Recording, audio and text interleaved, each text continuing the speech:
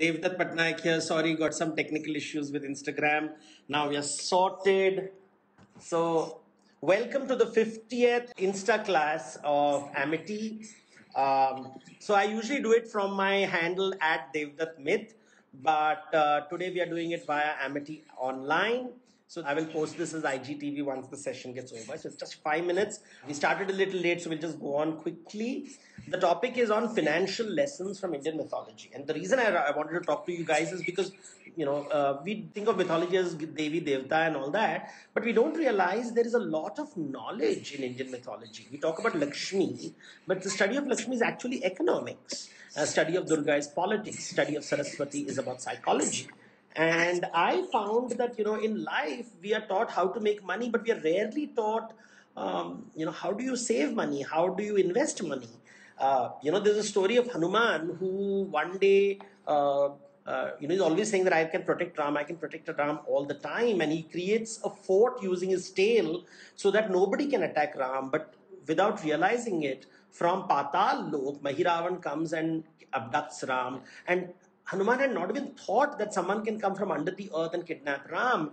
And I think that's when he realizes that no matter how much you protect yourself, something can go wrong. And when I read the story, I thought about insurance. Or, you know, um, when you go to a temple, and I realized that if you go to some temples are more famous than the others, and I realized that the temples which are more famous are the ones where your wishes are fulfilled. And I realized that whenever your wishes are fulfilled, you go back to the temple. And that is what is called a repeat order in business. And when you get a lot of repeat orders and you're happy with the temple and all your wishes are fulfilled, you'll call your family and say, tell your family members and friends, please, please come to the temple because that's a place where all your wishes are fulfilled. And in modern management, we call it referral. So even temples have uh, referrals and repeat orders. And these are things that I discuss in my book, How to Become Rich. People always say, why don't you use the word rich? Rich is not good. And I said, no, what is rich? Rich is basically when you have enough money to pay your bills and you have enough money to help other people pay their bills. That's it. That's all the meaning of the word rich is. And that's what mythology teaches you. It teaches you what kind of a relationship you need to have with money. It's not just about earning money. It is about saving money, distributing money, investing money you know there are different ways in which your money can grow. How do you turn your you know they'll use words in hindu mythology like beej or phal. so tumhara jab salary aata hai when you get your salary is it fruit or is it seed? And beej or phal like imagine you're eating a mango fruit you can enjoy the fruit but there's also the seed. And to remind you that you know while you enjoy the wealth that you've earned some of it has to be invested for the future you know and that's how you learn these little tricks. There are these stories and mythology that help you understand that you know your salary is not just a fruit to be enjoyed but also a seed for future investment you know you hear concepts when you read uh, scriptures they'll talk about rin ye tumhara rin hai you have to pay, you are in debt and you have to repay your debt to society, repay your debt to your parents, you have to repay your debt to nature. And you realize nowadays people talk about corporate social responsibility, but Indian mythology always had this concept that we all have debts to repay. And as we earn money, we must remember that we owe things to society, we owe things to our fellow human beings, and we owe things to nature at large. You have to pay attention to nature. And all that, you know, the whole holistic view of wealth is what I wanted to discuss.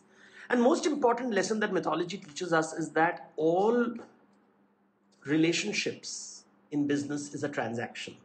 You have to give something in order to get something. So in economics is defined as what is economics? Economics is getting what you want by giving what you have. And that is the same definition for yajna. A yajna is ritual where you give what you have in order to get what you want. So you give swaha and you get tathastu. You give bhog and you get prasad. Beej dete ho or phal milta hai.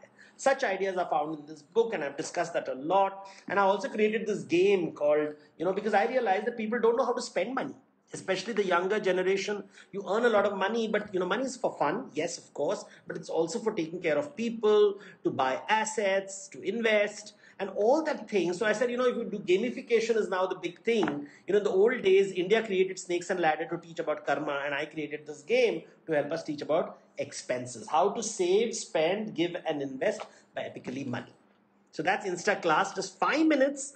We have conversed on various topics on about relationship, and that's all for today. Um, we will have maybe a longer session if Amity decides to do that, but as of now, that is it. Bye bye.